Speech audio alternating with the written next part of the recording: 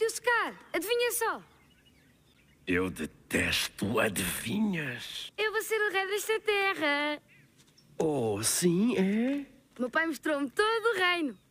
E eu vou governá-lo todo. Ai é. Desculpa-me por não saltar de alegria. É que me doem as costas. Ei, tio Scar, quando eu for rei, o que é que vais ser tu? O tio de um macaco. És tão esquisito. Nem queiras saber. Então, o teu pai mostrou-te o reino todo, não foi? todo. E mostrou-te o que está para além do Planalto, na fronteira norte? Oh, não. Diz que eu não posso lá ir. E ele tem toda a razão. É muito perigoso. Só os mais corajosos lá podem ir. Eu sou corajoso. O que é que há lá? Desculpa, Simba, não te posso dizer. Porquê? Simba, Simba, só estou a defender o bem-estar do meu sobrinho favorito. Ah, ora, sou teu único sobrinho.